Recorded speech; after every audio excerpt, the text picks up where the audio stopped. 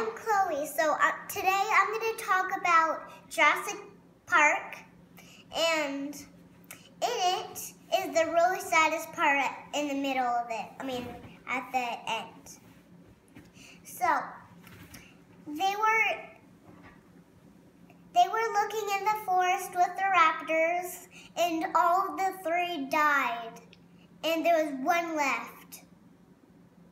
No. Yes. There was one left. And the T-Rex, I mean the the shark dinosaur that eats that eats sharks and he comes up and eats it and he he saved he saved the raptors by getting the the main dancer, you know, the like the pokey um, the pokey things on his back.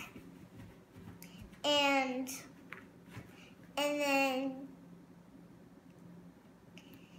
and then the T-Rex, um, the T-Rex, um,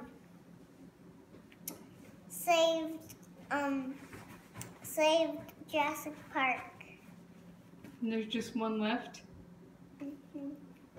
I know, that's really sad. And then the pterodactyls have like T-Rex head. There's one um, pterodactyl that has a head that looks like a T-Rex. That's weird. And he doesn't have a beak. He just has wings and a body. Oh. That's creepy, right? That's uh, that's silly. Yeah. All right. You like that movie? Yeah. Who's your favorite in the movie? Uh, which favorite dinosaur?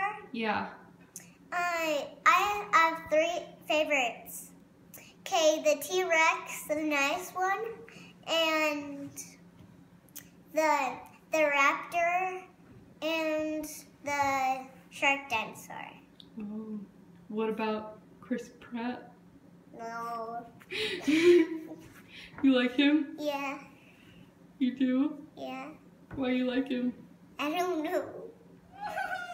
Because he's cute. he is, huh? I loved your review of Jurassic World. Okay, do you want to see my sister Lily? She was trying not to laugh so hard about the pterodactyl head. Yeah. yeah what happened? The brontosaurus has died. The brontosaurus died? yeah. And you cried? Oh, Lily. And... Are you crying again? Yes. Why? It's sad? It's just fake. He was um, real. He was real? Oh, Lily!